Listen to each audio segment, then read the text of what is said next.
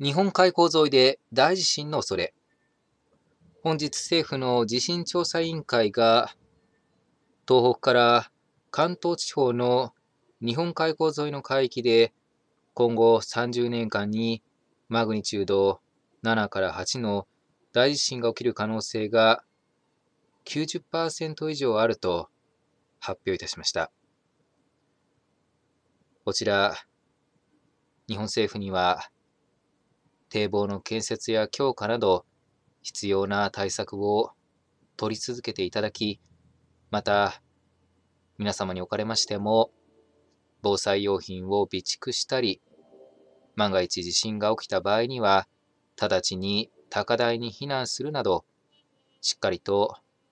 災害への備えを行っていただくようお願いいたします。以上になります。ご清聴いただきありがとうございました。